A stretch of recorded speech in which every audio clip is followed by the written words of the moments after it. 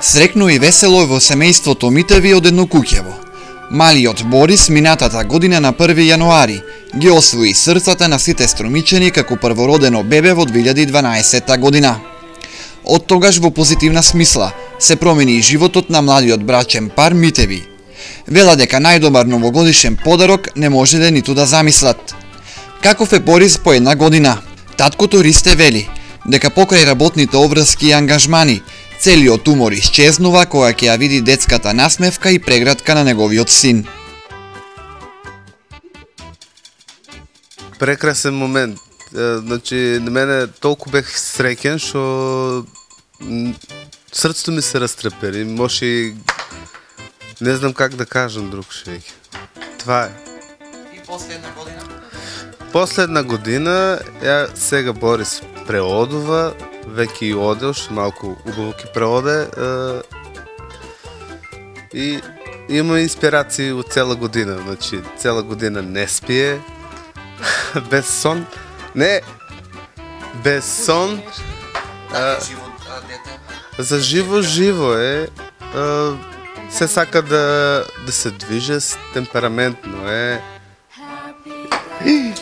А, многу убави моменти а, сакам сите да ги дочекат тие моменти, да би да ја таа радост и среќа. Така видовме да... дека е малку живо и темпераментно да. детето, како помине измината една година? Лудо. И незаборавно. За една година, да. Се нешто има интересно.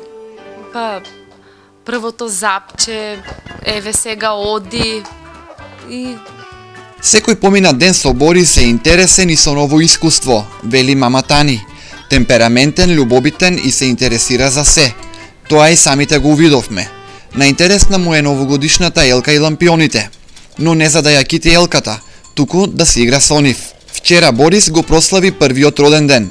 Желба на неговиот татко е да стане музичар како него. Па има повеќе и на мене, има нешто и на мајка му. Добро ќе ако извлече и добрите особини од мене и од мајка му, тоа ќе е најдобро, ама ќе видиме како ќе е. Така и болно себе на А, јас за роден ден, јас свирам гитара, па викам за роден ден да му земам една маленка гитара, да, па дали ќе се почне или попосле, ќе видиме како ќе е, да биде наследник. Како и родителите, срекни се и бабата и дедото на Борис.